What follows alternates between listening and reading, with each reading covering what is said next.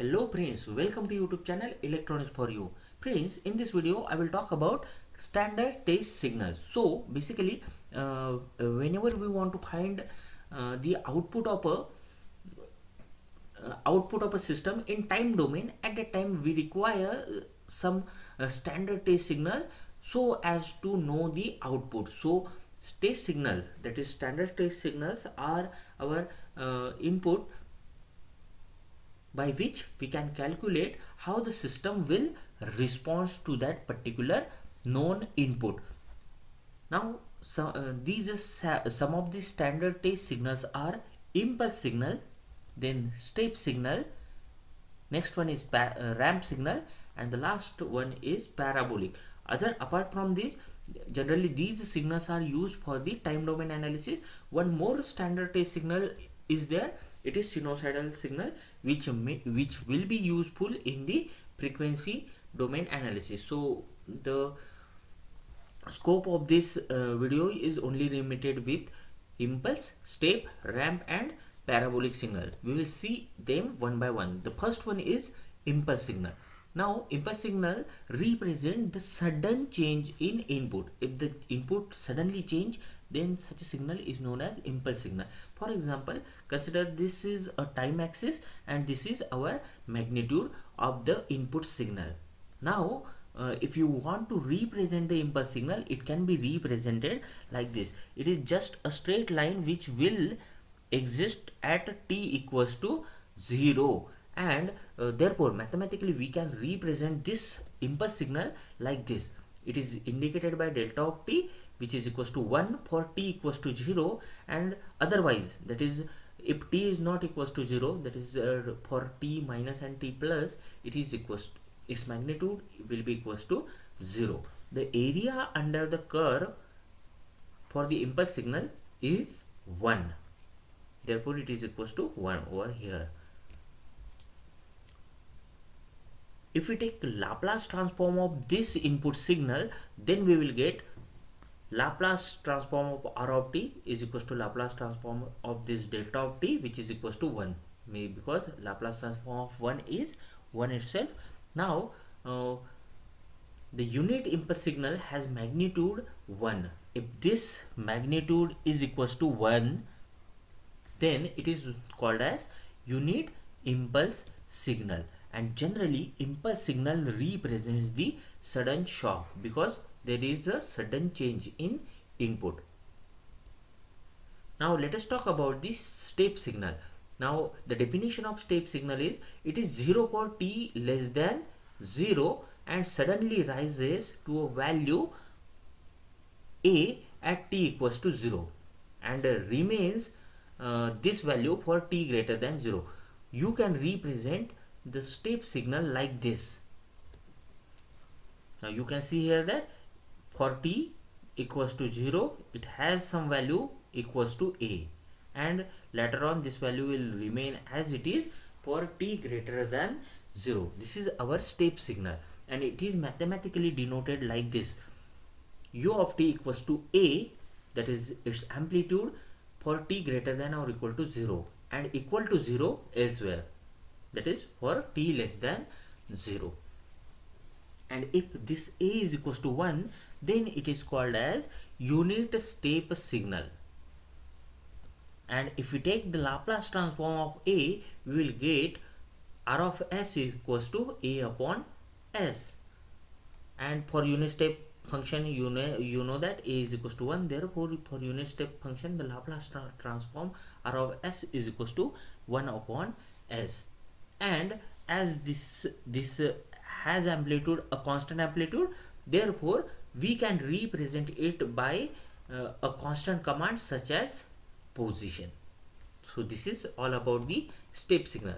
Our next signal is ramp signal and it it is uh, defined like this. It has uh, it is 0 for t less than 0 and uniformly increases with slope equals to a. It can be represented like this it is a straight line. And uh, you can see here that this value is increasing with respect to time. And if we calculate the slope that is y2 minus y1 upon x2 minus x1 by some formula then this slope is if we indicate it by a then uh, the equation for this line will be uh, just line's equation is mx plus c.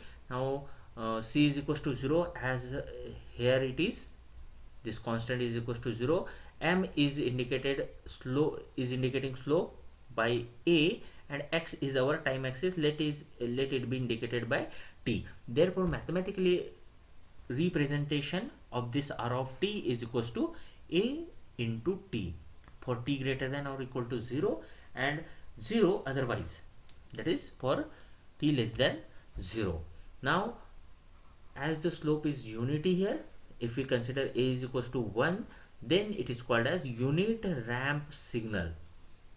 For a equals to 1 the slope is 1 then it is called as unit ramp function. And if we take the Laplace transform of this signal that is Laplace transform of r of t that is r of s will be equals to a upon s square.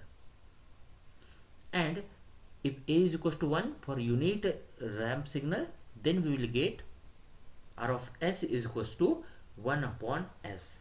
So this in this way uh, the ramp signal is indicated.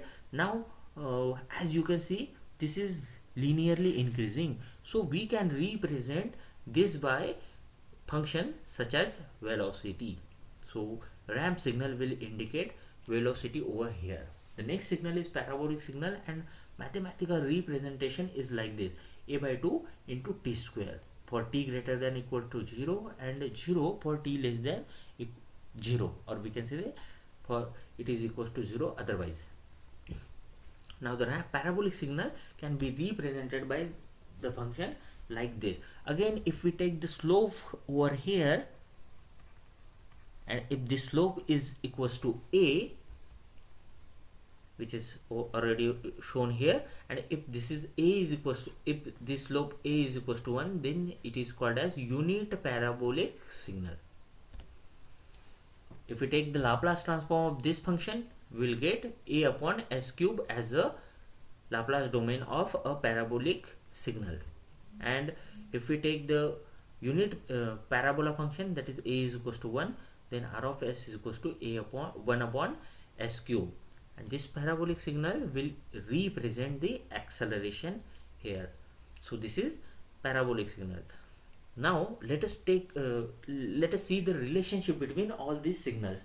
So uh, we have seen the impulse signal step signal then the ramp signal and parabolic signal. Remember the sequence. Use the same sequence over here. Impulse signal. If we integrate it we will get a step signal if we integrate step signal we will get ramp signal. And if we integrate the ramp signal then we will get parabolic signal. Exact opposite process is also true. If we differentiate parabolic signal then we will get ramp.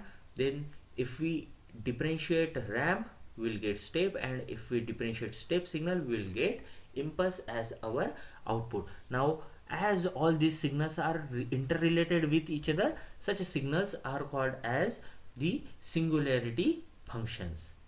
Because they can be derived from one another. For example if you know the step signal over here you can calculate you can if you integrate the step signal you will get ramp as output. And if you differentiate the step signal you will get impulse. Means any any response can be calculated by just integrating and differentiating our given response. So uh, thus if you know any one of the response for any one input you can calculate the others. Now remember this table. It is very very important table. Our inputs are impulse step ramp and parabolic. Their respective Laplace transforms are 1 a upon s a upon s square a upon s cube. It is very very easy to remember the Laplace domain of all these input signal. And here these are representing shock position velocity and acceleration respectively. And friends if you like this video please subscribe our channel and press the bell icon for notification. And like comment and share. Thank you.